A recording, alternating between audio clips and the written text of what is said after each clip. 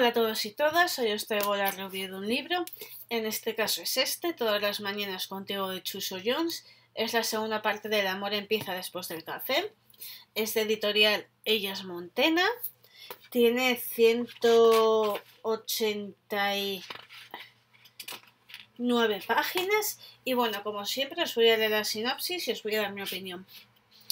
Paulo y Olivia eran felices, les costó lo suyo, pero lo tenían todo una relación bonita, un proyecto en marcha, hasta que Paulo cometió un error, el peor de todos. Bueno, con esa premisa, lo primero que quiero decir es que hay que leer el libro anterior para poder entender muchas cosas de este libro, porque si no nos vamos a perder. También decir que me ha encantado, vamos conociendo muchísimo mejor a los personajes principales tanto como a los secundarios también, ya que aparecen algunos de ellos del libro anterior, por ejemplo Vanessa, la ex de Paulo. Perdón. Es decir, que está muy bien escrito.